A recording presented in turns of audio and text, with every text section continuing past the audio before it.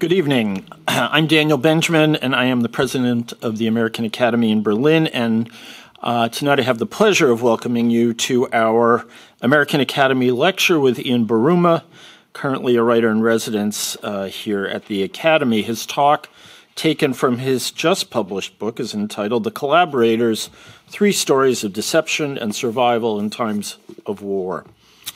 Now, as uh, some of you may be wondering, when did we uh, create this new designation, this new category here at the Academy of Writer in Residence? Ian, um, although I think chronologically was the first person to um, be offered to be a writer in residence, although he was he's the second one to actually get here after Fred Kaplan, the prolific foreign policy commentator uh, who was here earlier in the semester. Uh, and well, you might ask, because we have writers in abundance uh, at the Academy, including uh, this particularly this particular semester, three star fiction writers, and I mean that is three star fiction writers, not three star fiction writers. For those of you who spend too much time on TripAdvisor, we have three of them in residence, so you may wonder why we are adding more to this category or this new category. And I guess the reason we decided uh, to do so, uh, not to put too fine a point on it, is because it was irresistible. Um, when I heard that Ian, um, someone I have been reading for decades, was interested in spending some time at the Academy, I heard that from a mutual friend. I couldn't say no. We're, um, and we're hearing from an outstanding uh, array of uh, writers uh, that they would like to spend some time, uh, perhaps not, not a whole fellowship here. And so we've created this new category of visitor. Um, of course, we're still figuring out how to fund this new category of visitors. So if any of you tonight are feeling especially flush uh, and want to support this new category, um, uh, why don't you see me right after? And uh, therein ends tonight's commercial appeal.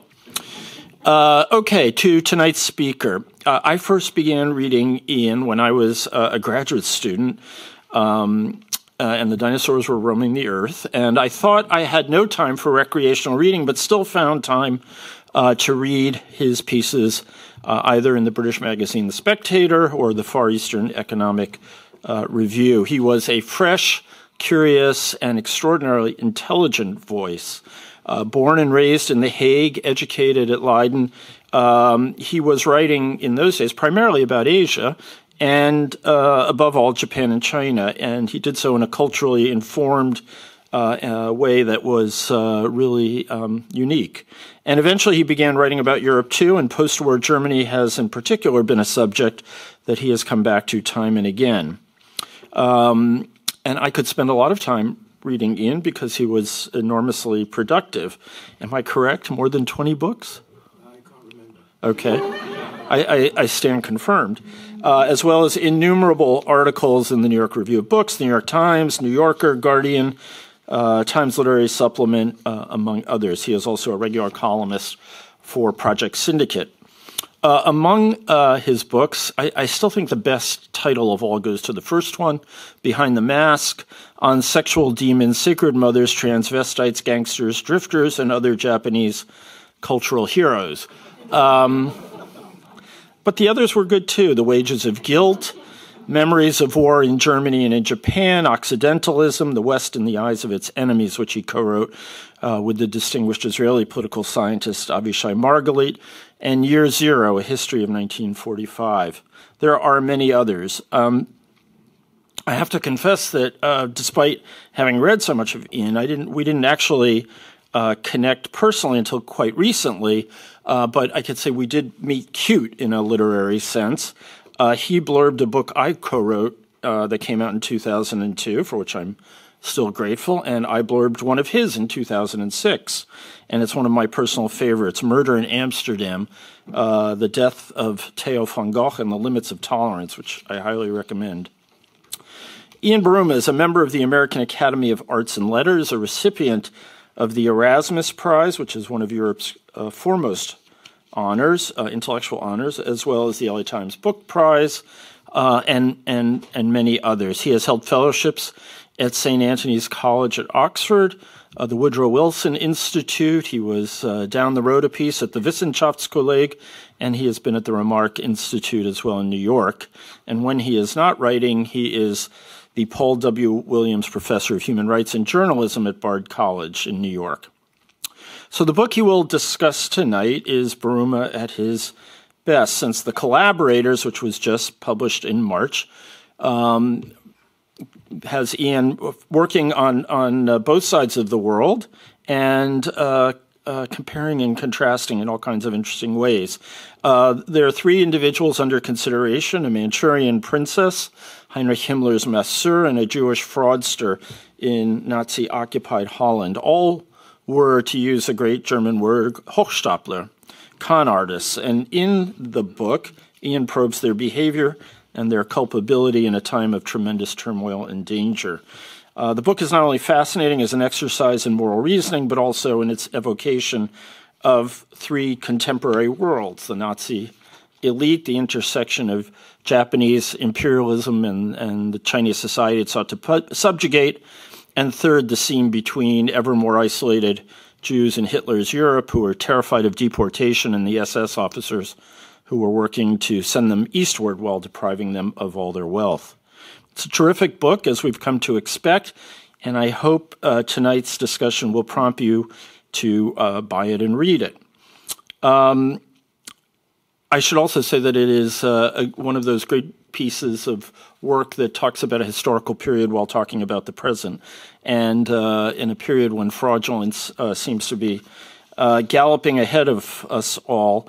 Um, this is a fascinating work to read.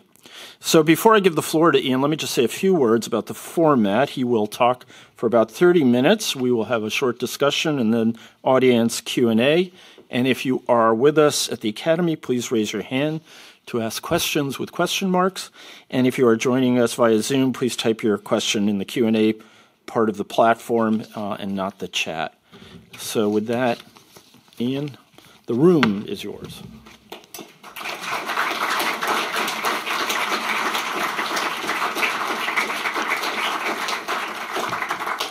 Well, first of all, let me thank you very much for um, letting me be here, which is, uh, um, I cannot thank you enough. Um, also, it was a wonderful introduction, and like all great introductions, it, of course, it took a lot of wind out of my sails because you said all kinds of stuff that I was planning to say, but it's probably said it better.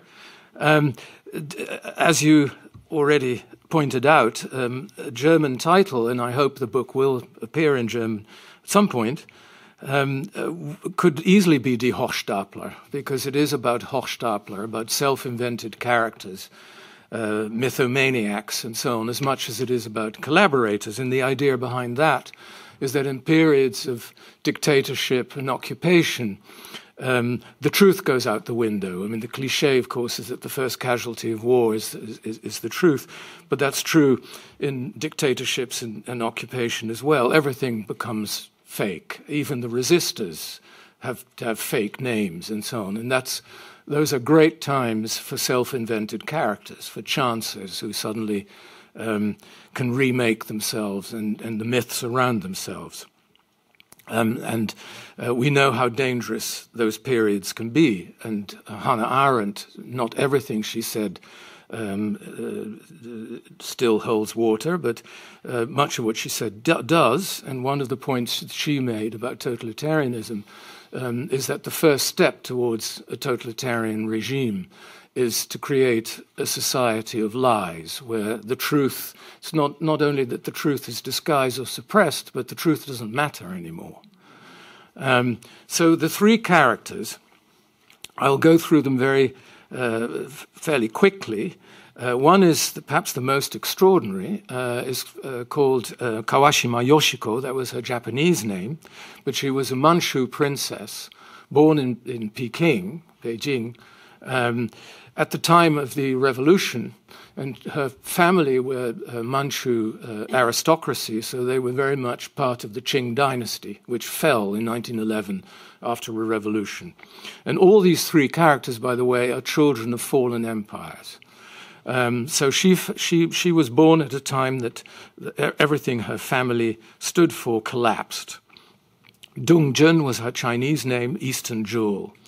And she was part of uh, a number of Manchus who were the, the, the people who, who, who, were in power during the Qing dynasty in China, um, who had a dream of restoring uh, the, the Qing dynasty throne. And she thought, and her father thought, that this could be done in collaboration with the Japanese. And the Japanese, of course, played into this fantasy and their idea of liberating Asia from uh, Western imperialists and, and so on. And um, so she, she was born in that uh, rather crazy world of revanchists and dreamers and um, uh, collaborators and so on. Was raised in Japan. She was given by her father, and he used an extraordinary word, uh, phrase for this, as a gift to a Japanese friend of his who was an ultra nationalist, who also was a dreamer of uh, Asia without Western, Western imperialists and Asia for the Asians, of course, under Japanese uh, control. Uh, she was given as a gift to him, uh, and he raised her in um, ultra nationalist circles in Japan, which is how she got the name Kawashima Yoshiko. Might have raped her, um, she, in any case, did not have very pleasant experiences with men, became a cross dresser. Uh, before this was called trans or anything like that, wore male uniforms, cut her hair, went back to China, and became a kind of mythical figure. The Manchu princess who was on the side of the Japanese um, in their uh, efforts to quote unquote liberate Asia. And part of the liberation was Manchukuo, which was this puppet state in Manchuria, which the Japanese pretended was the ideal modern Asian state where there would be no racism, uh, no rapacious Western style capitalism. Um, it would be the ideal independent state. Well, it was certainly not independent. It was not without racial prejudice. The Japanese were the Herrenvolk, uh, in Manchukuo, the whole thing, everything about Manchukuo is fake. And much of this book, of course, is about fakery, that you don't know what's true, what isn't. Nothing that these characters said about themselves or other people said about them can be taken at face value. So she became a kind of poster child of Japanese imperialism and all kinds of things were made up in the press. There were movies made about her, her. There were novels made even well in the 30s about her heroism and daring do, her private army, and so on. How she fought alongside the Japanese. Now the strange thing is that in 1945, when Japan was defeated, uh, she was arrested by the Chinese nationalists and tried as a traitor. But they used as evidence against her her own myths. So a lot of these made up stories with which she'd collaborated were used against her in her trial uh, as evidence. And uh, she was uh, summarily, she was shot. So that's Kawashima Yoshiko. Then there is Felix Kersten, uh, who was a Baltic German born in, in Estonia. Um, uh, may or may not have fought in the German army in World War II, uh, World War One. This was one of these sort of uh, mysterious episodes. Um, turned out to have a, a great talent for massage. Went to Weimar period Berlin, which was a great period for wellness gurus and quacks and um, Oriental mystics and uh, so on and so forth. Uh, he apparently found a masseur called Dr. Koh um, I've been through um, Berlin telephone books at the time and so on. There's no trace of Dr. Koh. Also, what makes it suspicious that uh, in, in Kersten's retelling of his life story, which again is highly uh, dubious and unreliable, Dr. Koh was not only Chinese but perhaps also, also was was trained by Tibetan monks. Well, the moment you hear Tibet, you start thinking this is the world of Tintin and so on. And, and, and anyway, he, he became a, a master of the, of the great and the good in Europe, of aristocrats, the husband of the Dutch queen, uh, people like um, um, Ger- German uh, industrialists and so on. Um, uh, and uh, he managed um, by doing this to what he, he thought, he had this theory that very famous and successful people suffered particularly from all kinds of stomach pains and so on because they worked too hard and were too ambitious. Now, one of these was Heinrich Himmler. Who often had the uh, Bhagavad Gita in his pocket, apparently. He was one of these sort of quasi Hinduism enthusiast and so on and so forth. Heinrich Himmler suffered from terrible stomach cramps. And um, one of the best books written about uh, uh, dictatorship was by Mao Zedong's doctor, Li Zhisui. And Li called stomach cramps and migraine and so on uh, a communist disease. Of course, it wasn't a communist disease, it was a dictator's disease. And in dictatorial courts, where you're constantly afraid of somebody knifing you in the back, uh, you get these psychosomatic uh, uh, pains, and the pains are real. Uh, Himmler suffered from this. Um, der uh, Dicke Buddha, as um, Kersten was called by Himmler, was the only one who, managed, who, who was able to help him in his agony. And so Himmler made him into his private masseur. And Kersten spent the war um, following Himmler, um, making the mass murderer feel more comfortable. Now, uh, he did do certain things. I mean, he claimed after the war, the mythology of Kersten was really post war, not during the war, unlike Kawashima Yoshiko. He claimed that he was actually a great resistance hero who, in exchange for promising that he could help Himmler's pain, managed to give Himmler lists of people to be released from concentration camps uh, and so on. Some of this is true. Um, former clients of his, in particular, Himmler was uh, prepared to release, but not Jews, because that for Himmler was a matter of principle. But um, other people could be released sometimes. What is true is that at the very end of the war, when Kersten, who was, if, if nothing else, a very deft operator, had already, when he saw the end coming, moved his operations to, to Stockholm. Um, he played a role as a mediator between the World Jewish Congress in Stockholm and Himmler. When Himmler was, was putting out feelers through people who worked for him, um, including Schellenberg, the, the um, security chief of the SD, that he could he, he hoped he could make a deal with the Allies that Germany, led by Himmler, of course, uh, along with the Allies, the Western Allies, would make war on the Bolsheviks. Um, he was prepared to make certain deals and release some Jews from concentration camps and so on. And an extraordinary meeting took place in February or April 1945 when the war was still going on between the head of the Jewish Congress in Stockholm and Himmler at Kersten's um, country house in Brandenburg. And so there was Kersten um, landing in Berlin with the Jewish representative, met by SS men who were all going Heil Hitler. Um, the Jewish representative doffed his hat and said, Guten Abend, meine Herren. And they went to the country house where they met Himmler, and Himmler approached the uh, representative of the uh, Jewish Congress with the immortal words, words, I think it might be time for our peoples to bury the hatchet. Um, some people were released as a consequence of this. So Kersten played a role. But after the war, he knew that having been Himmler's personal masseur was not the best way to burnish his credentials as the masseur of the great and the good and the famous in Europe. So, uh, when the, and the Swedes, of course, had to also restore their reputation, which had been rather tarnished. Uh, so, the, a kind of uh, um, competition for who had been bravest uh, emerged when uh, the Swedish negotiator with Himmler, uh, Count Bernadotte, Folke Bernadotte, as the Red Cross man, and who later was assassinated in Jerusalem by um, the Stern Gang, um, and he claimed that he, as the Swedish representative, had been responsible for releasing many Jews from concentration camps at the last minute. And Kersten wasn't mentioned in this. Now, Kersten then wrote his own memoir. And by the way, uh, Bernadotte's memoir was written by Schellenberg, the SD security chief who temporarily had found refuge in Bernadotte's home in Sweden. So, uh, uh, Kersten then writes his own memoir uh, claiming that he saved the entire Dutch population from being, in 1943, from being deported to Poland. Uh, he saved the French from starvation. He, he was a great resistance hero, uh, in short. So there was some effort to see whether these claims were true.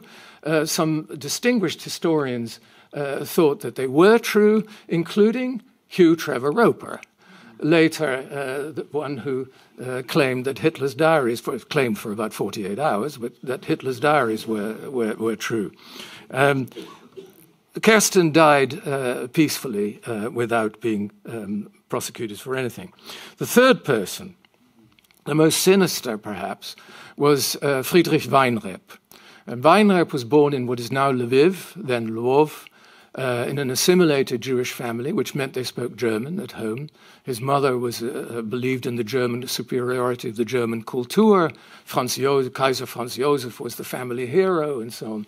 Uh, they fled during World War One uh, to uh, first to Vienna and then to a seaside resort near The Hague in, in the Netherlands, where none of them felt very comfortable. Like most German Jewish refugees, they found Holland very provincial. They missed their eider-down beds, uh, and besides, the German culture was superior to everything else, uh, etc. And to um, rebel against his parents, Weinreb became, became uh, ultra Orthodox uh, Hasid. Um, and he was one of those people who thought he was cleverer than everybody else. He could outfox the world. He, he basically he, he had contempt for everybody. He had contempt for the Dutch. He had contempt for um, assimilated Jews like his parents and their friends. He even had contempt for his fellow Orthodox Jews who he thought were fools. And he certainly had contempt for the Germans. And uh, in the first few years of the war, he came up with this, uh, these lists um, that if you, in exchange for payment, if you applied for these lists, there was an element of the Madoff scandal in this. Uh, if you applied to be on these lists, he could arrange that you could be on a train to safety in Portugal or Spain or Switzerland. Um, and the list was backed by a German general von Schumann. Now, the list was a complete fantasy. German the, uh, General von Schumann didn't exist, um, but he did take a lot of money and um, was arrested at one point. Uh, the SD, um, he then said to the SD who, who arrested him that General von Schumann was never existed, was a fantasy. The SD wouldn't believe him because they thought the Wehrmacht were no good it had to be true that there was a German Wehrmacht general who was in on this scam. So he then said to Kersten, if you help us find this von Schumann, we'll let you, we'll, we'll, we'll, we'll let you out of prison. This led to more and more weird, weirder and weirder adventures, uh, during which Kersten probably uh, betrayed fellow Jews. Um, and uh, in the end, um, it was spent some time in Westerbork, the camp on the way to Auschwitz, um, in the end, uh, uh, the ground became too hot under his feet, and he had to uh, go into hiding with his family. Now, after the war, he, like Kawashima Yoshiko, uh, was arrested and tried for treachery and uh, fraud. Um, he tried to make a case that he was the Dutch Dreyfus and was helped by some people, including some uh, organizations in the United States who, who believed him. Um, he was punished for some years, was then uh, given mercy but, and, and was let out. Um, but um, in the 70s, when I was a student, uh, Kersten, uh, not Kersten, Weinreb became very famous as a kind of Kabbalist uh, guru who was popular with middle aged, rich Gentile ladies who uh, took lessons from him in the meaning of life by uh, uh, reading the Bible according to his half baked Kabbalist theories. I myself uh, uh, had a brush with this. Um, my best friend at university at the time, his grandmother was exactly one of these people, and my friend would go on Sunday Bible lessons. Uh, to read to, to, read the Bible according to Weinreb's um, theories. Um, I was studying classical Chinese at the time, and I remember still and wince with embarrassment that I said to my professors, we were reading a Han Dynasty text, I think, wouldn't it be interesting to interpret the Han Dynasty text through a numerical and perhaps pre worldly mystical? And I could see their eyes rolling. and I went back, and my friend and I put this down to bottomless superficiality of my professors. And this didn't last very long. But um, in any case, uh, um, Weinreb in the 70s became a hero of the counter establishment, countercultural left. as an example of somebody who uh, was in a sort of playful manner um, playing with the establishment and, and so on and so forth. I'll say a bit more about this later. Now, why am I in, was I interested in writing this book about these three people who don't didn't know each other? Um, and didn't have very much in common except that they were collaborators in, in Hochstapler. Well, one reason, as I said, is that they were all children of broken empires with very complicated and divided loyalties. None of them really knew quite where they belonged. And uh, even most historians, I think, have some kind of autobiographical interest in the subject they tackle. I myself, um, I'm not a child of a broken empire, but I did uh, grow up with different parents from different countries and different religions and different cultures, so I sort of understand the feeling. But uh, I do make it clear in the introduction to my book that one has to be very careful with the assumption that people with who have different backgrounds are also potentially treacherous or, or, disloyal because when I think of my own grandparents, who are the children of German Jewish immigrants in Britain, uh, they were uh, did what many people, uh, immigrants, do, or children of immigrants. They plumped for once for, for their their own country and became super patriotic. In other words, they were more British than the British in the way that their families had been more German than the Germans in the late 19th century. Um, the other reason is, as, as, as Dan already uh, uh, said, is the sort of zeitgeist uh, we're living through at the moment. Uh, a period in which uh, truth, uh, or the concept of truth, is in danger. Um, not only from Donald Trump and, and, the populist right and so on, um, but also really from, from a certain kind of left where uh, influenced by, by Foucault and, and other th- and postmodernist theories, the idea is that truth, that there is no such thing as objective truth, that, obje- that the claim to objective truth is simply a fig leaf for the uh, privileged elite to impose their view on the marginalized, uh, and that truth is simply a question of, of relative power and representation and so on. So, in other words, there is no such thing as truth. And um, I think this is uh, an extremely dangerous uh, tendency, um, mainly for the reasons that Hannah Arendt pointed out that if there's no truth, then everything becomes partisan. So, in other words, if um, Donald Trump uh, lies through his teeth, it doesn't matter whether the New York Times uh, can correct all the mistakes or point them out. His supporters will simply say, well, that's the New York Times. I mean, they would say that. I mean, it's all partisan and so on. And um, the same uh, with representation. I'm very skeptical about the notion that um, whether it's art or whether it's uh, intellectual life, that um, what matters is who is saying because of who they are rather than what they're saying. Because there is something Volkish about that notion. It's a bit like the Nazi idea of that there is, there is no such thing as objective science. There is Jewish science, and there is uh, science of the German Volk. And I, I, think a lot of people today um, uh, are not who, who, dangerously close to that kind of thinking, and not necessarily neo Nazis or fascists, or even they're often very well meaning. But I think there is a, a, a danger in our time uh, of this undermining the concept uh, of truth. The third reason is that I grew up, uh, like all people of my generation, in the shadow of World War II. I was born in December 1951, so I didn't experience the war. But could, it's haunted us, people of my age, or many of people of my age, and it will haunt me until I die. I mean, we, we, can't ha- we can't get away from the war. And one of the things that, that very much marked my childhood growing up in, in, in the Netherlands in the 50s and 60s was in the 50s and early 60s this idea of good and bad.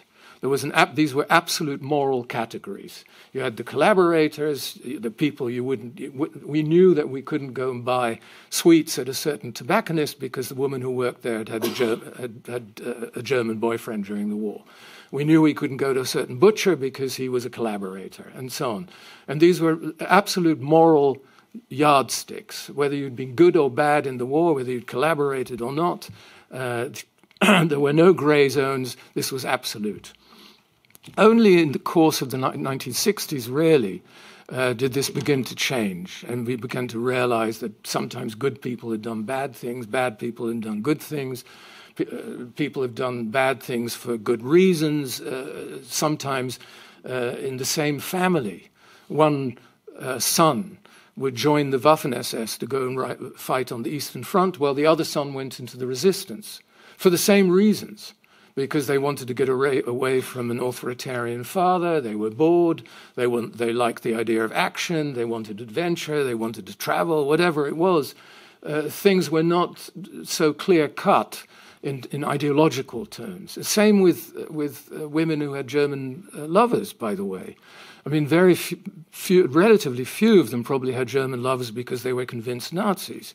They had German lovers because uh, the local boys were um, poor and had bad teeth, and you had these foreign soldiers who wore smart uniforms and were more exciting because you needed the food, because you wanted to dress nicely, because you were stuck in a horrible marriage. There are all kinds of reasons why the presence of foreign troops can actually be a liberating, uh, have a liberating effect. I don't need to tell uh, nobody here probably is of that age anymore, but I don't need to tell Germans uh, uh what it was like in the first post-war years, when to be a, an American was a very, even where you, if you were a hideous American with bad teeth, you still were treated as a sex god. So it was no different, really, with often for many people, with German troops in occupied Europe during the war. In other words, the temptations to, to, not to be a hero uh, to uh, adapt, to compromise, and even to go over to the dark side, we're strong. And uh, that doesn't mean that being a collaborator or doing the wrong thing is more human than being uh, doing the right thing, uh, but it is to me more interesting um, as a writer. Um, and I, don't, I, don't, find heroes particularly interesting. I find people who failed in one way or, not, or another much more interesting, partly because I could probably identify with it more, uh, partly because it's uh, out of fear. Um, to claim that you would be a hero would be absurd arrogance. To think that you might have done the wrong thing just to be better off, uh, to, to get more power, to have more fun is more easier to imagine. I mean, I don't think I'm being completely perverse in, in making this, this claim. So that's, uh, those are the reasons why I wrote the book. Now, the last thing I will say um, is uh, an interesting aspect of the story, which is why the three, these three people after the war still appeal to the imagination to such a large extent. And I think that the reasons were different. I think in the case of Felix Kersten, uh, Himmler's master, um, it had to do with class. That Kersten, like, like butlers, um, was somebody who was very who adored to serve people who were powerful and rich. He liked to be a fixer. Um, he liked to be uh, an operator, somebody who was in the know, and so on. All three, in fact, were a bit like that. And um, the people who needed to be rehabilitated very quickly after, after the war, in Germany perhaps more than in any, any other country, was the old elite that had dirty hands. The, the bankers, the industrialists, the, uh, not the concentration camp guards or the women who'd had German lovers. That was, they were the ones who got it in the, well, the women got it in the neck before anybody else, but they were less guilty than uh, than Flick or, uh, you know the people who ran Siemens or uh, the, the and so on. And, but they had to be brought back, back very quickly because you couldn't rebuild a country like Germany and countries that had been under occupation too without, the, the uh, incorporating the old elites that, that often had blood on their hands, even indirectly. You needed these people, diplomats, professors, doctors, and there are people of the age in this room who, who I'm sure remember um, having been had you know, growing up, knowing that your professors and your doctors and so on uh, were not so kosher, and I can only commiserate with them. Um, so, and Kersten was a, a, typical servant of that class, and it, it, it was in the interest of that class to sort of see Kersten's story of heroism and so on, uh, and also Kersten's attempt to, to pretend that the Flicks and others whom he'd served before the war and during the war were actually very decent people, um, uh, which was very much part of his post war um, presentation. The case of Weinreb is perhaps the most extraordinary uh, in that he appealed to the the, the generation that came of age in the 60s, the 68ers, the people who in Germany would have had teachers and, and, and, and, and so on who had been uh, had, a, had a brown past. Um, the 68 generation in Holland, in Japan, in Italy, in Germany, and so on, everywhere, France, felt that they had to make up for their parents. Their parents had looked the other way, their parents had collaborated, their parents were no good. They were going to be the resistors.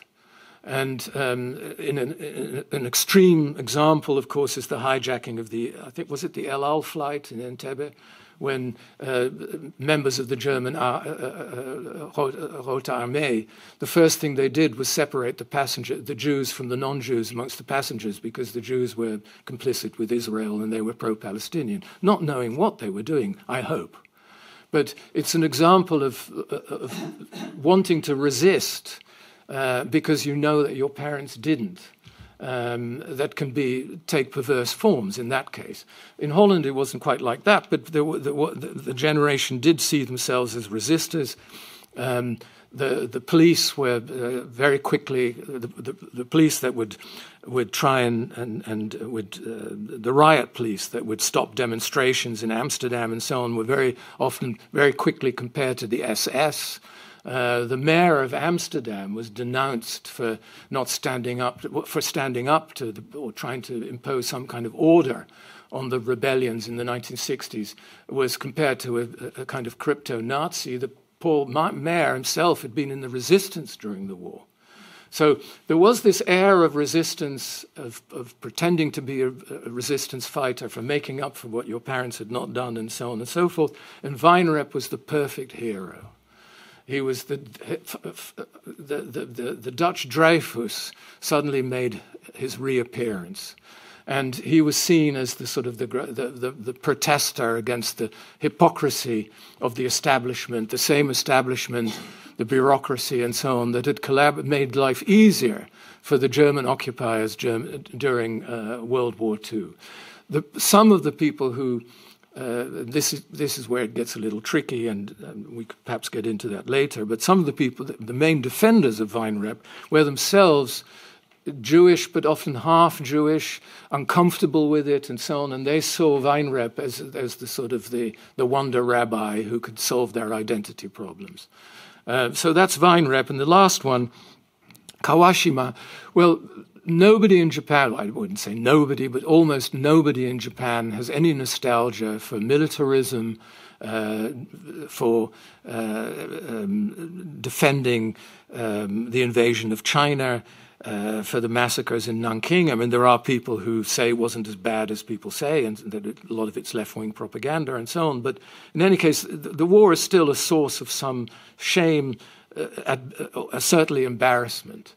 But the Japanese uh, experiment in Manchukuo, the puppet state in northeastern China, the idea of having a sort of an Asian empire, the idea of going to the Asian continent and having uh, escaping from the Japanese islands, for being part of a wider Asian story, that still has a kind of romantic appeal.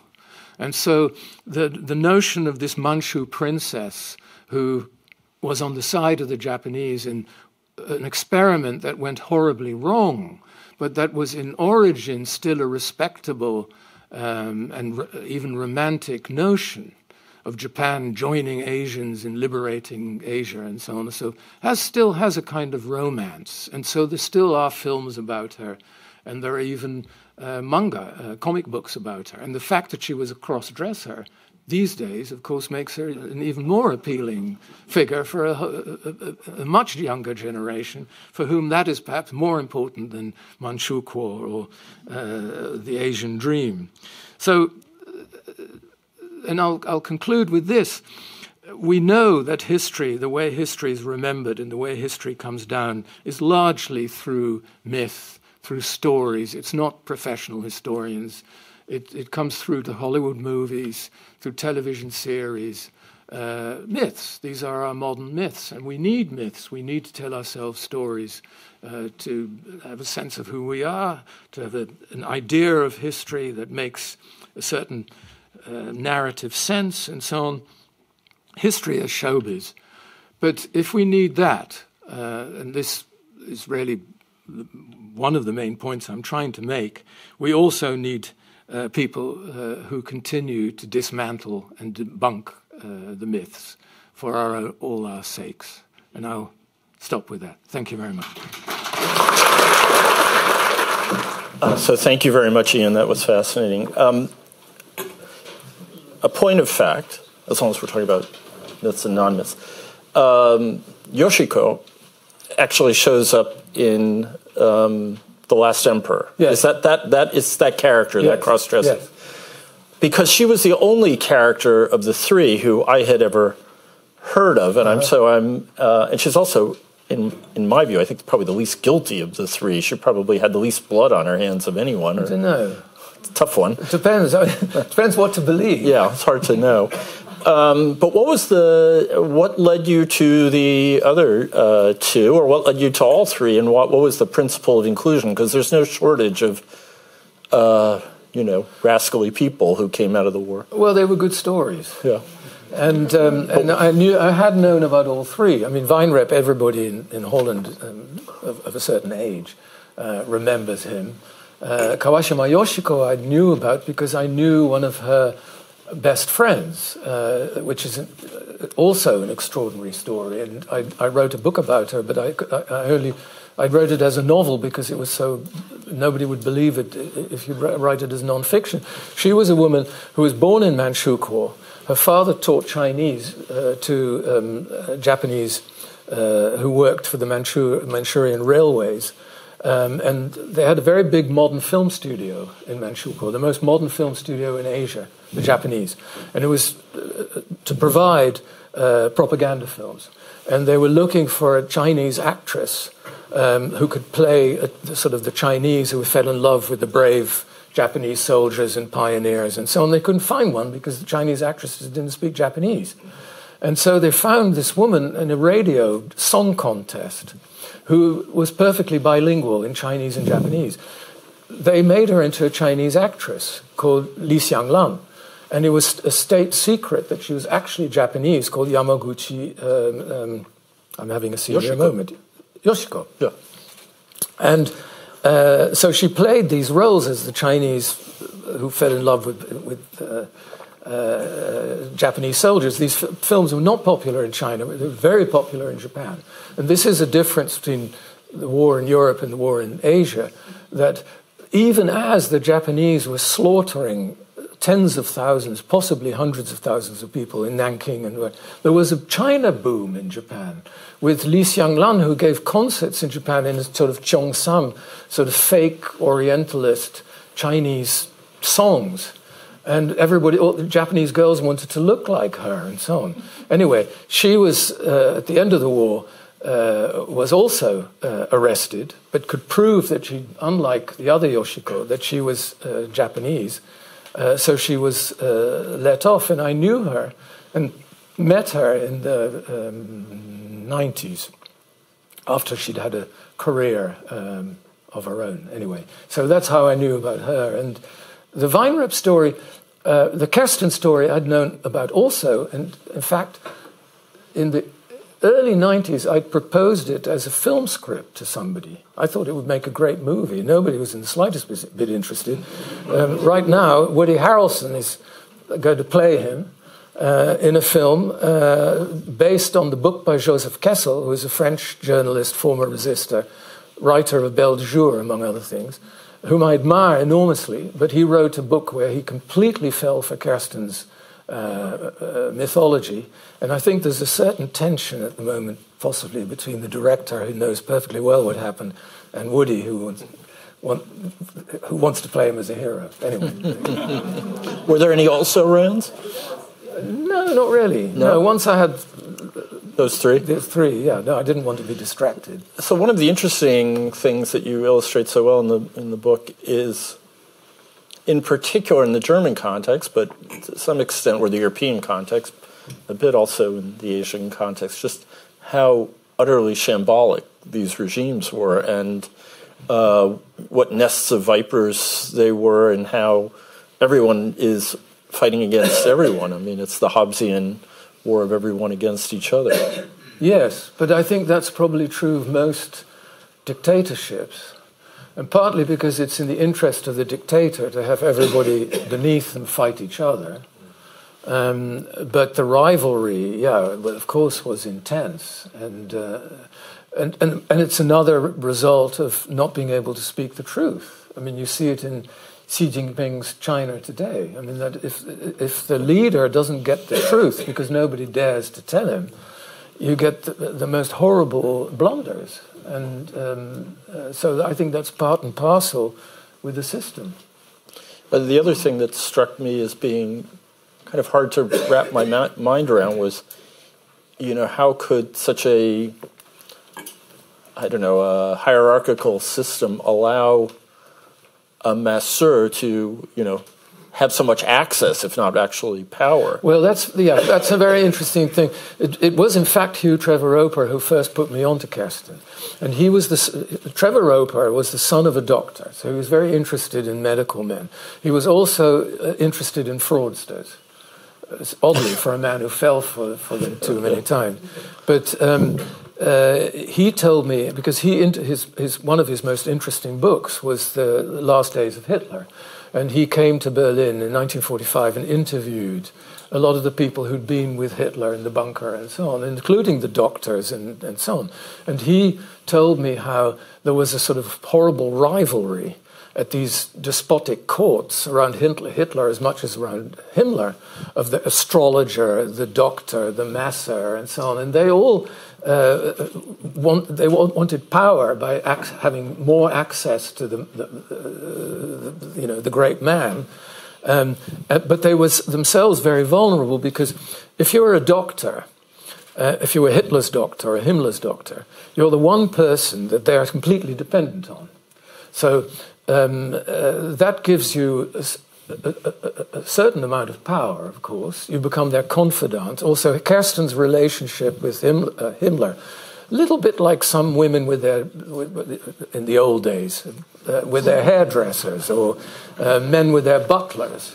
That um, you know, you, you confide in them because they're so much lower than you are in a way that you can say things to them you wouldn't say to your, your best friends. So they, they, they had a position of, of great influence. And at the same time, if things went wrong with the health of Himmler or Hitler or whoever it was, Mao, uh, you were responsible. So, um, uh, what was the question? Is that how un- odd it was that a oh the, the shambolic would, nature, yeah, the shambolic nature, but also that a masseur would. And no, that's why they had yeah. so much influence. I yeah. think, yeah. And uh, I mean, he seems like he was a miracle worker. Was, well, that in his own. I'm sure, but but you know, they all kept him around, and one, I mean, they were sort of passing him around, you know, to this baron and that baron. I think he probably was a very good masseur. Yeah, it, it was the. I'm, I'm looking for someone of that quality myself. Well, yeah. they're, they're probably rare. yeah, I, I, I would have, uh, I would have thought so. Um, well, anyway, I'm going to have some more questions, I'm sure, but why don't we open it up to the floor? Please put up your hand. Yeah, great and wait for the microphone. Right there.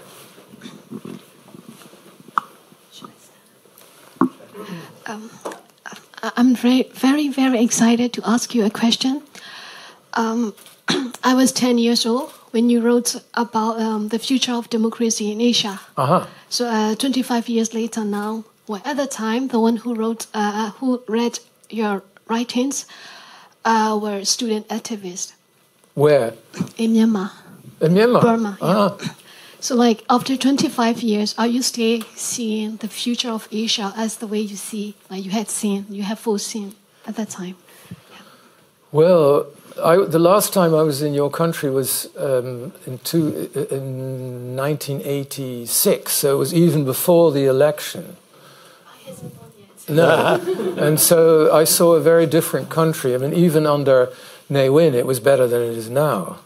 Um, I don't think you can really. It's it's difficult to generalize about Asia because I think the different countries are so different, and it wasn't so long ago that um, Burma or Myanmar uh, was looking more pro- hopeful and promising than Thailand. Whereas now they're going to have an election in Thailand and the opposition might possibly win. And so these things fluctuate so much. And so I'd be wary of making great statements about how I see the future of Asia. I think it, it really depends on the country. I think I, since I haven't been to, been to your country for so long, I, I, would be even more diffident about saying anything. But um, it's certainly not looking good. And partly because I don't think the Chinese will do anything to put pressure on the military government. Um, on the other hand, the opposition is very strong and, and very um, fierce. They're not going to give up. Uh, so um, I foresee that there'll probably be quite a lot of violence, and in the end, the military will probably lose. But you know, as they say, in the end, we're all dead. I'm sorry to be so horribly pessimistic. You're supposed to save that for the end, I think. uh, back here, please. Yes, you mentioned earlier uh, two names, Donald Trump and Bernie Madoff. And if you were to start writing your book today, uh, would they be part of the three most uh, disreputable characters that you write about, or are there, uh, or are there others? No, no. I think there. Are, I think there are more uh, disreputable characters than either um, uh, Weinreb or Madoff. What I meant by that is that he, Weinreb used the same tricks one of them was to say to people who wanted to be on his list, these desperate people who, who would do anything to get out because they knew, they, they knew pretty well what was going to happen to them. And he would say often to them, in the way that Madoff did, he would say, no, no I'm, I'm afraid the list is full. It's, it's, it's very difficult. I mean, have to be patient, but I don't think so. Which gave, gave people, it became almost a status symbol to be on his list. As it, and Madoff did exactly the same. It gave him credibility by making it hard to be on his list. That was the, the comparison. And it wasn't a, uh, to say that, I mean, neither of them are particularly reputable figures, but there are worse.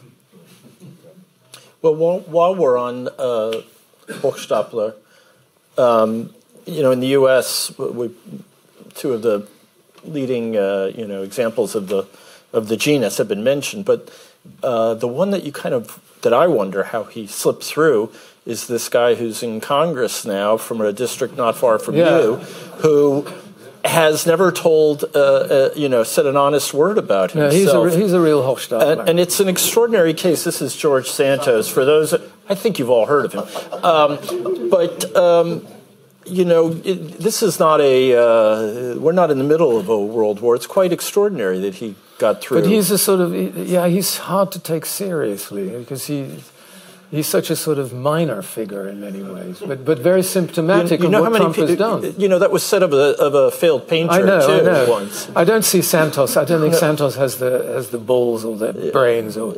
But the, the uh, talking about disreputable people, I think Trump is a much, much more dangerous p- figure than, than, than, Madoff ever was. Madoff is just a fraudster.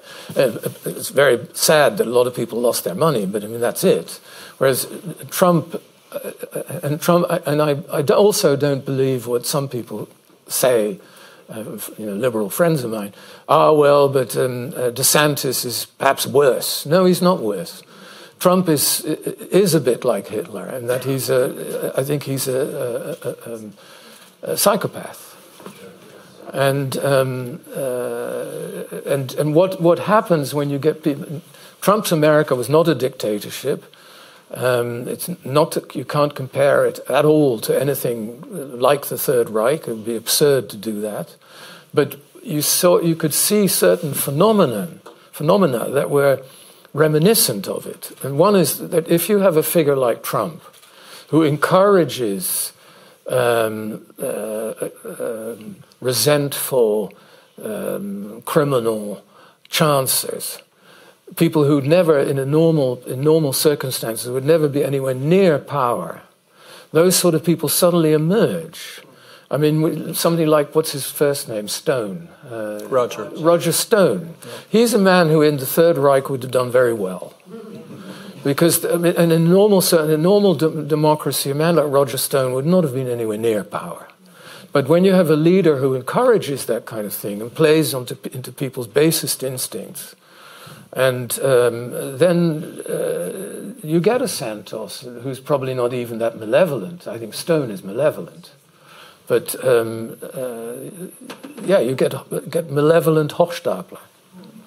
But what, what is it in the uh, ecosystem that you know, has opened the door to either a Stone or a Santos or a Trump? That's really the question. I think in widespread. Case, it's the polarization precedes yes, the uh, widespread fear and resentment. I yeah. mean, when you have enough people who feel that they've been left behind, the world is against them, they've been they're, they're losing their grip on status, etc., uh, etc. Et and you get a demagogue who plays into those, those very dark sentiments of, of wanting to um, have exact revenge against people who you think were always better than you and so on, uh, then you get that kind of phenomenon. Right.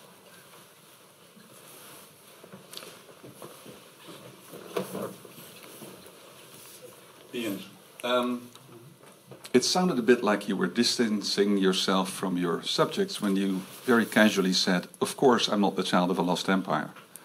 To my Dutch ears, that sounds very odd for somebody who was born and raised in The Hague. Um, you must know the Dutch saying, India, India verloren, yes. spoed geboren. When we lost Indonesia, misery started. Um, and, and, and, maybe if you, if you compare the size of the motherland to the, that of the former colonies, the loss of the Dutch Empire was probably the biggest in the last hundred years. Yes, except I don't think you're right that The Hague was full of um, uh, nostalgic um, people who had idyllic childhood, childhoods in the Dutch East Indies and hated the climate and uh, all that. Um, first of all, I didn't grow up in those circles. Um, my family had nothing to do with the East Indies. Um, and by, what I mean by the children of broken empires, in the case of these three people, they, they lost their identities in some way, one way or another. I mean, if you were a Manchu in China after the revolution, you were suddenly a nobody. And, uh, and loss of status, I think, has a lot to do, and that, that's true of the, a lot of people who work, who vote for Trump. I mean, they think that gays and black people and women and so on are sort of taking over the country and they'll be thrown in the dustbin, these sort of white, resentful people. And th- there are such people in the case of Holland or, or, Britain or France when they lost their empires, but they were people who lived there usually, um, uh, who suddenly had to come back and, and, and, and uh, resented it.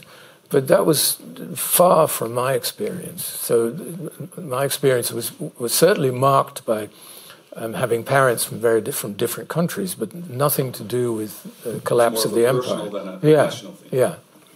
Okay, Mr. Connolly, or Professor Connolly. I should say. Thank you, Ian, for a fascinating presentation. I was um, mystified and struck by the figure of Heinrich Himmler, uh, who acted in a very surprising way. A sweet man. Uh, well, you know, um, Hitler's testament he does a few things that I recall. Well, one of them is he kicks Himmler out of the party, as I recall. Uh, but he also, uh, make, I think in the last paragraph, he warns the German people about the continuing power of the Jewish people. This is after the Holocaust has essentially been affected. So six million Jews have been killed, and Hitler is still obsessed with the Jewish power. Um, so looking at Himmler for a moment, willing a few weeks earlier to meet with representatives, it was it the World Jewish Congress? Yes. Which uh, in, in, on German territory, um, a man whom we, we think of as actually being ideologically very close to Hitler, behaving in a way that Hitler never would have. No, that's true. What, what do we learn about Nazi ideology? Was it was it complete? Was it? He seems to be an opportunist of a sort. Well, that's a very I mean, good question. How coherent was it? I mean, what what what do we learn from, about the system, about the ideology by essentially the number two? Figure behaving in the way that you describe? That's a very good question. I think you could ask that question of any ideological uh, dicta- dictatorial system. I mean, to what extent do people really believe it? To what extent are they only in it because of the power and so on? It varies very much from person to person. Himmler was particularly complicated because he was a fanatic and believed in all kinds of weird mumbo jumbo um, about race and so on, to the extent that some of his colleagues thought he was a bit of a crank. On the other hand, he was indeed prepared at the end of the war to strike all kinds of deals, maybe because his loathing of the what he saw as the Slavic Untermenschen and the, the barbaric hordes from the east and Russia and so on uh, was almost as strong as his anti-Semitism, and he had delusions. I mean, he had delusions of grandeur anyway. So he had delusions that he could be the new leader of Germany, and he had delusions that that the Western Allies would join him and turn around and go to war with the, the, the, the Asiatic hordes.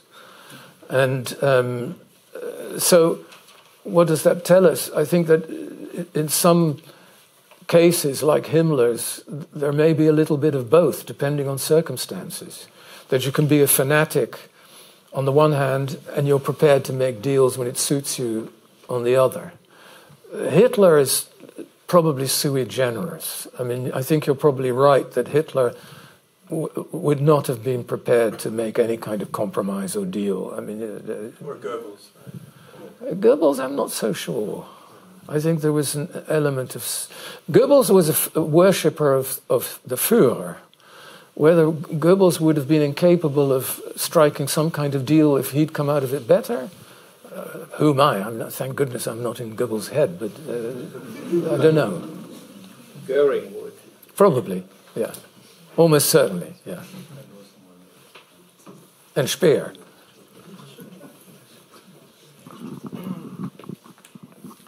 Thanks for, for thanks for a great great talk and uh, for turning our attention to the appeal of those three people after 1945. I mean, do you think that part of the appeal is that they are prone to belittle dictatorships, make people feel comfortable, even, you know, make them ridiculing dictatorships, you know, after 1945, and thus, thus thereby serving kind of apologetic needs and uh, tendencies.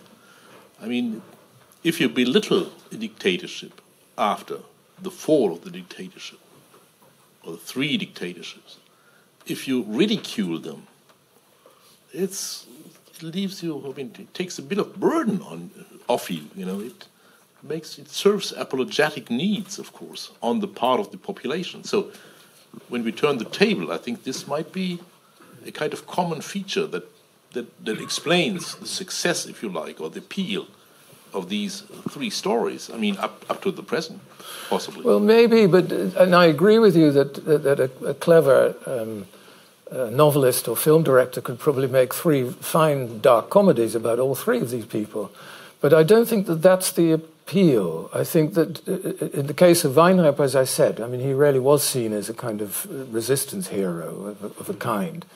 Um, Kersten, if you take jo- Joseph Kessel's book, which is the best sort of hagiography on Kersten, um, he certainly doesn't see him as a comic figure. I mean, he sees him as, as a real hero. Um, and um, the case of Kawashima Yoshiko, I don't think the Japanese, although it's certainly have a sense of humor of, of their own, um, would find Manchukuo uh, particularly comical or even her role in it. Um, I, I, might be wrong, but I'd, I'd, be surprised. I mean, I agree with you that, that, that um, ridicule uh, is the form of criticism that dictators themselves, of course, including Trump, uh, find most disturbing.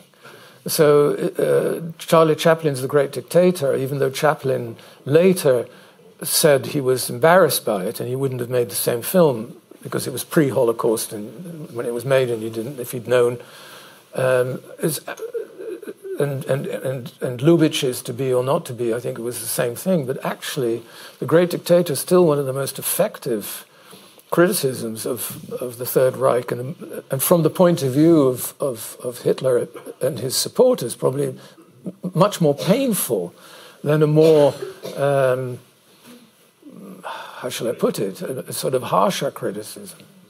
I mean, Voltaire said this about the Catholic Church.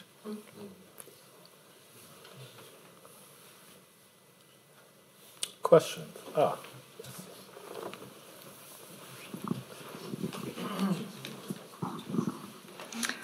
Um, thank you for addressing uh, collaboration as an, a universal topic, not something which is limited to one nation or one um, a historical area or even geographic area. Um, in in this leaflet, uh, actually, Ukraine is mentioned, and I think we should also think about Russia currently, where this topic is like very high on, you know, everybody's like everybody thinks about mm-hmm. collaboration. Um, and we have sanctions, which are also about collaboration. So this is all very important, not so much for us now, but we, we could theoretically learn from history and maybe also try to advise people in other countries how to deal, like, for example, with these cases in the Netherlands, where you had the, as you said, good and bad, you know, it's kind of like black and mm. white difference. So this is like my, my one question, like a practical question, whether there are some, you know, where something could come out of this. Also, especially in Europe, after the war is over. And the other very practical question um, did you use only um, other secondary literature plus novels, uh, memoirs, or did you also go to archives? Right. Well, I'll, I'll, answer the second question first. Yes, I did both. Um, but um, the first question, um, I myself am, am, skeptical of the. Who was it? The, the, not Dos Passos, but who was the American novelist who said, if we don't learn from the past. Sorry? No, no, no, no, it wasn't no. Faulkner. It was Santayana. Sa- Santayana. If we don't learn from the past, we we are we're doomed to repeat it. I'm, I don't quite buy that because I don't think we can learn from history, and, we often learn the wrong lessons from history. I mean, we need to know history in order to understand ourselves and where we, and our times and where we come from and so on. But the idea of using history to draw lessons, I'm, I'm, I'm very skeptical. Um, but what is true is that you can see parallels. And um, in the current situation in Russia and the Ukraine, I, I, I could um, note two. One is that I'm, I'm, now working on a book on, on daily life in Berlin um, during the war from 39 to 45. And, the, and the, phenomenon I'm talking about perhaps takes place a little bit earlier. But what you now see in Russia is something you saw in the, in, in the early, in the 30s in, in Germany, which was that question of do you, if you're, if you're against the regime and you're able to leave, which is, of course, always a minority of people, do you leave facing an uncertain future um, and so on? Do you stay? Um, and one of the most interesting books on this topic I've found so far is Erich Kästner's Das Blaue Buch, where he says, I'm a German, this is my language, why should I leave my country? Uh, I can bear witness, but you have to make compromises, which he's very honest about. And the thing is that the, those who leave are hated by those who stay, and those who stay are hated by those who leave. And you see this in Russia now, exactly the same thing. And the other thing, and, and Susan Glasser, who's here, pro- probably knows who I mean, but there was a very good um, piece in the New Yorker not so very long ago by somebody who was describing, I think it was the New Yorker, describing the uh, phenomenon of, of collaboration in Ukraine. When you had a town that was Ukrainian, then occupied by Russian troops, uh, and you had a local uh, guy in authority, uh, a mayor or somebody else, um, who then had to take care of people getting fed and that to make sure that, that, that, things didn't just completely collapse so that people would, would starve. So he had to cooperate, cooperate to some extent with the Russians in order to make sure that things were, sort of, that daily life could go on. Then the Ukrainians come back, and those people are arrested as, uh, as, as collaborators and traitors. Well, you know, that shows how hard these issues are. And again, uh, how, however horrible the invasion of Ukraine is, it's not quite yet uh, World War II or anything like it, but you see the same psychological things taking place. And in that sense, you can learn from history in order to recognize it and understand it, but not, you know, we, if we know history, we can somehow, the world would be great if, uh, that I don't believe. A question right here. But surely it'd be better. Not necessarily. No, we can learn the worst. We can learn the wrong. I mean, one of the reasons we're living in a city now that was mostly destroyed is that the, uh, the, the on the Allied side, um, a lot of the military um, authorities who'd gone through trench warfare in World War I wanted to do everything to avoid a war of, of, military attrition again. So they thought bombing the hell out of the enemy will break their morale and would prevent us from the horrors of World War I. Well, you know, it was different set of look horrors. around us. Yeah. yeah. Well, not in this house, but. Yeah, um, um, I would I would like to say that I um, would underline everything you said. Uh, and especially what you said to our times. But I think it was definitely enlightenment, uh, what we heard. My question is the following You are happily Netherlandish. I foresee a reception in, in Germany that would argue that is notori notoriously uh, brought forward. Explaining means understanding, understanding is forgiving. And when you say I'm attracted more by these people by, than by heroes, then it is also claiming of sympathy. And um, how would you re respond to, uh, to, to, this argumentation, which will definitely come? Yes. That argues what you said rightly uh, to Foucault falls on you. Yes. No, th th that's right. I mean, on the whole, this book has received very kind um, notices. I had one negative review where exactly that point was made. I mean, why, did, why wasn't I more. Uh, um, didn't I condemn these characters with more moral fervor and so on? Didn't I understand how, what terrible things they've done? Well, first of all, that assumes that the readers aren't adults and have to be told that, you know, the Third Reich was no good and co- collaborating with Himmler was not necessarily the best thing to do and so on and so forth. I don't think you need to tell people that. But it's something that's, I'm afraid, has been part of my entire working life because I see no um, merit in voicing outrage or, or, or expressing indignation. I mean, in certain things it is. I mean, if you, of course, if you're writing a pamphlet or uh, you're a, a, a, political activist, but if you're writing a, a work of history um, or a novel or anything like that, then voicing outrage is not interesting. You want to, to understand people and what makes them tick, and uh, including bad people. And does that make you more sympathetic to them? In a way, of course, it does, because there is a sense of fellow human feeling, which also means that some people are probably Im- impossible to fictionalize. I don't think it, it, would be, perhaps it would be impossible to write a really interesting novel uh, from the point of view of Hitler. I mean, that would be a stretch. But there are there are many people. Steiner who, tried it. Yeah, he? yes, he did. yeah, but that was such a sort of weird fantasy. But on the whole, I mean, very few people are completely good or completely bad. And the ones that are completely good are almost as boring as people who are completely bad. And so it's the, it's the, it's those in between areas you want to get at, as a, I think, as a, a, writer. And here I make no distinction between fiction and nonfiction. And um, okay, so if people think that means that you're uh, you're soft or, or, not moral enough, well, swa.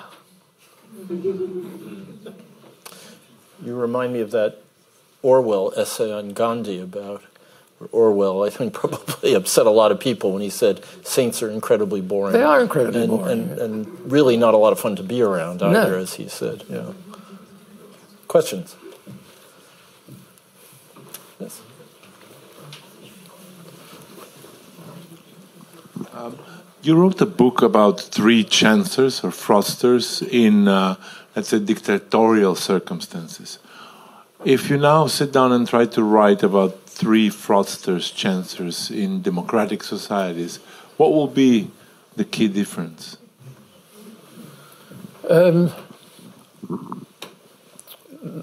well, the key difference, as long as a society is democratic, they probably can do less damage. That's probably the key difference. And that um, in a society that um, which encourages violence and revenge and so on, these kind of people can do serious harm. Whereas, in a, which is in a way the difference between somebody like Madoff and, and, a, and a fraudster and a collaborator under a Nazi regime. I mean, Madoff did real harm, but relatively, I mean, nobody went to a concentration camp because of Madoff. And I think that's a fairly considerable difference.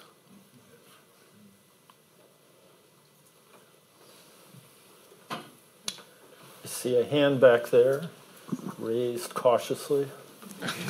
Thank you. Maybe two different questions. One, um, you spoke about the Netherlands and Ukraine and collaboration. Could you give us an advice on transitional justice going forward in Ukraine? And the second part is because you you talked about information being blurred by, yeah, blurred in general because uh, alternative realities come into play. What will AI do to your perception of reality and facts and truth? Thank you. Yeah, well, I'm, I'm terrible at giving advice. I, I, will drop that. Um, I'm, I don't know uh, really what the consequences are going to be of AI. Um, I'm not terrified of AI because, uh, well, it depends on what, what, what inspires fear. I think what AI can't do is develop an, an original thought, I don't think. It can fake a lot of things. But what is more dangerous than AI itself is the, the state of social media and the internet as it exists today, which is that pernicious nonsense, um, violent nonsense, can be spread to millions in, in seconds. And that makes um, maintaining a democracy much, much more difficult because a democracy or liberal democracy does depend on that people have a certain amount of reliable information and um, that utter nonsense um, uh, can be quickly debunked and and uh, made less noxious. That's much more difficult now. I think that's a more more uh, bigger problem than AI.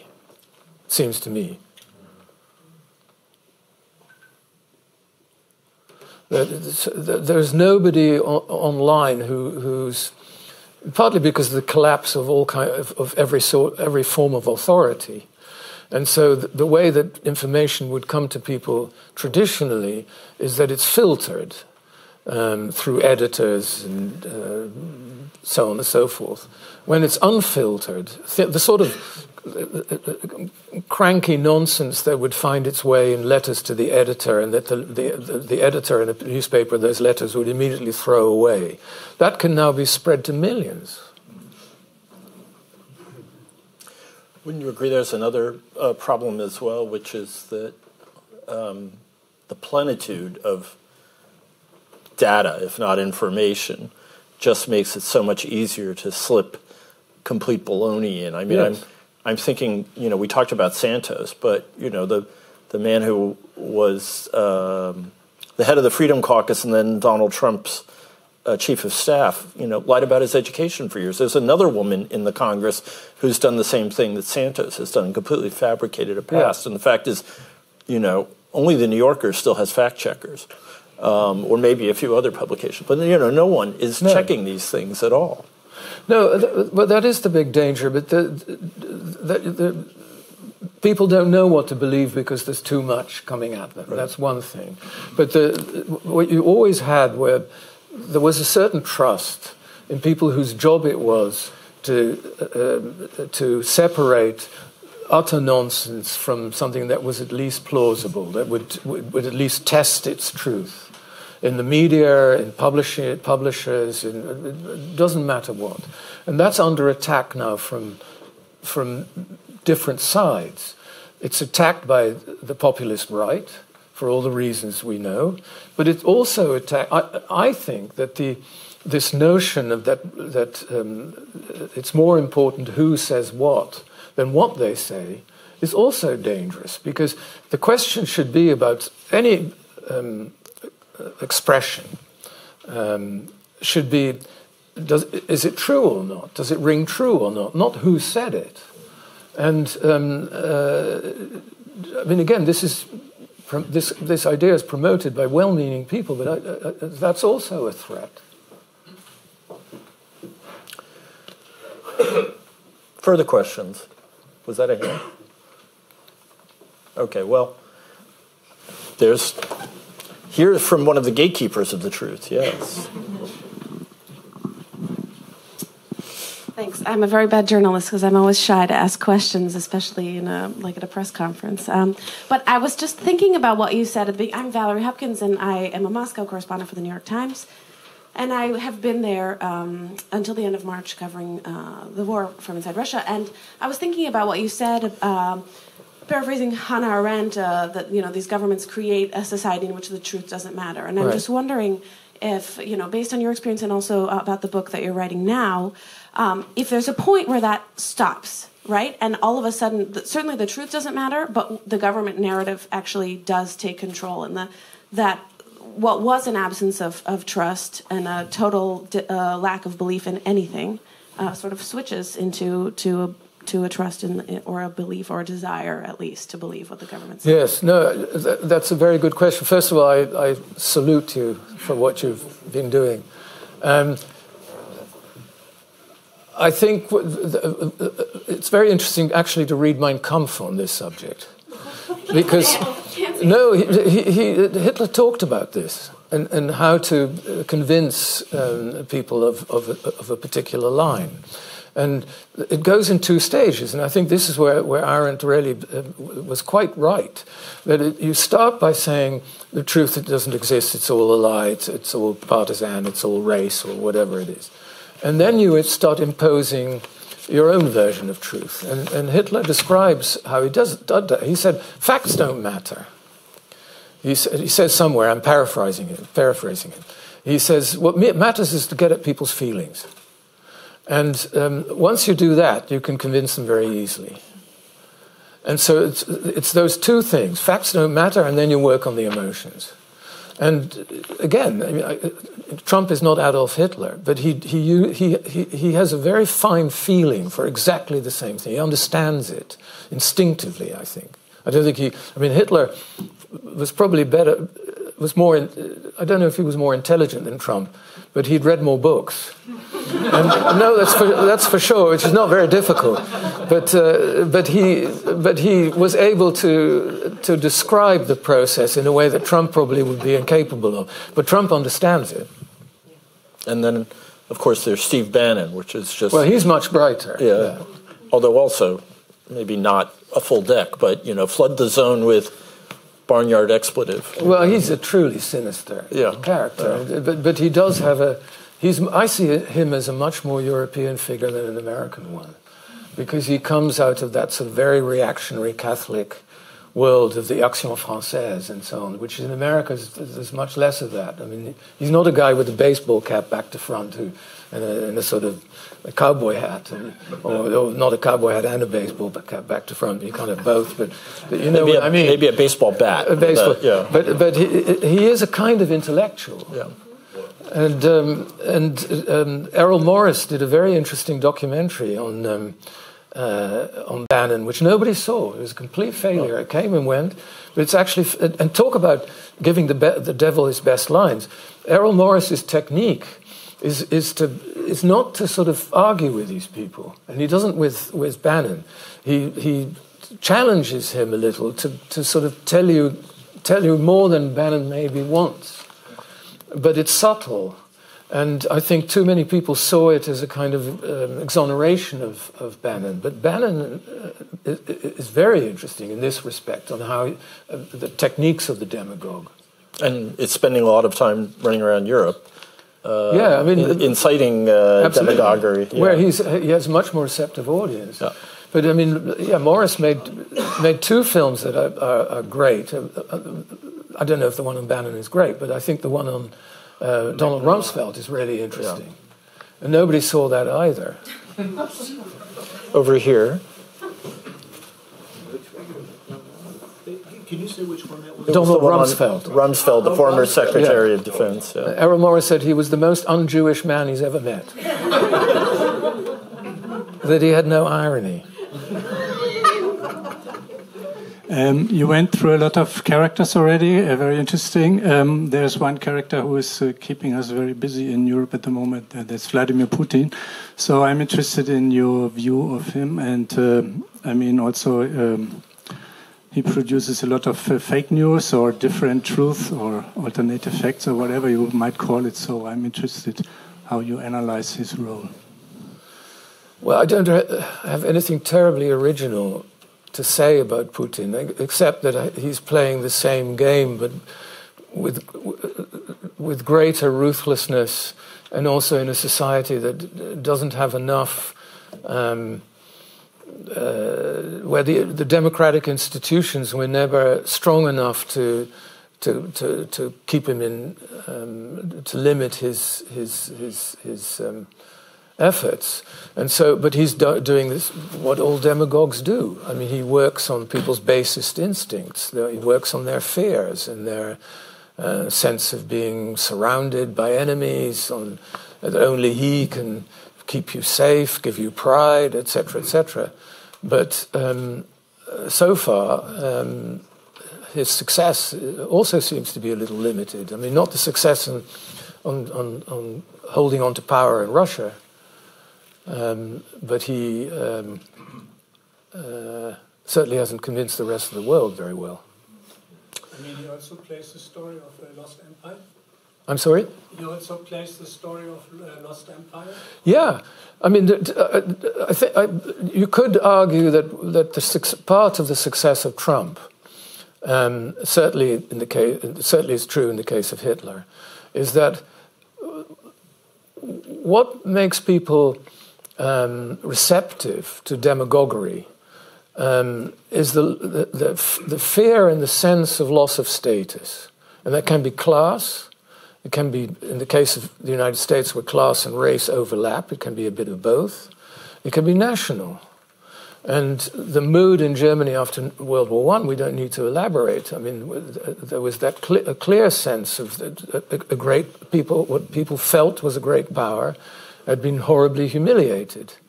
And you could say that some, uh, that many supporters of Donald Trump in the United States feel the power of the US slipping. The country that the world was always, whether they hated the US or, or not, but was always looking up to as the, the greatest power, and, and, and, and they were richer, etc., etc., more powerful, greater in every respect. And after the Vietnam War, after the Iraq War, and so on, there is a feeling that it's all slipping away. And um, Trump can certainly work on those kind of emotions. Uh, I would say Brexit and Boris Johnson in Britain in a much more minor way because Britain is a minor power, but um, uh, is similar. That uh, it's interesting, for example, that in, in Britain compared to the country I grew up in, or let alone Poland, the public mood was actually much less anti German than the French were, or the Dutch were, or the Poles were. Um, uh, German, the Nazis were kind of amusing. So, a television series uh, made in Britain um, usually had you know, Nazis who were ridiculous and buffoons, and they were funny in a way that a country that had been occupied by the Nazis couldn't make television series like that, 'Allo, 'Allo, and so on and so forth.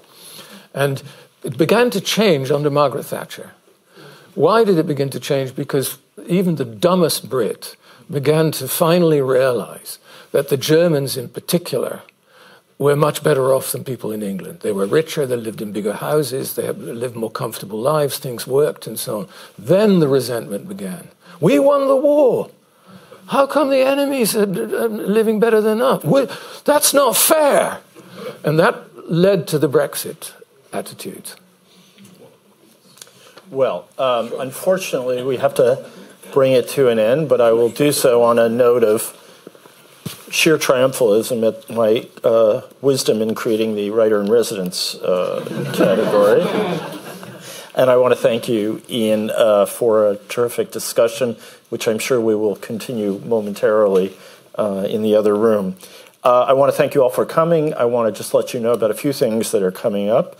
Um, our next event will be an evening with the award winning director and filmmaker Julie Taymor. That will be Wednesday um, and it will be it's everything is different. 6:30 p.m. and it will not be here, but at the uh, Universität der Künste in Schöneberg, and we hope you will join us there. Um, much of the rest of the week will also be devoted, or the, the even the following week will be devoted uh, to uh, showing Julie Taymor's films. Uh, uh, Titus, The Glorias, and Across the Universe, uh, which will be shown in cinemas around Berlin on the 14th, 15th, and 16th have a look at our website, uh, americanacademy.de, for exact times and locations. And our next event here will be uh, on May 11th, Thursday at 7:30 p.m. with author Lorrie Moore, who's already in the front row, waiting to take the podium uh, for uh, an event entitled "A Father in Berlin: A Reading." So. Uh, we look forward to seeing you again, and with that, I hope you'll give our speaker a hearty welcome. Thank you.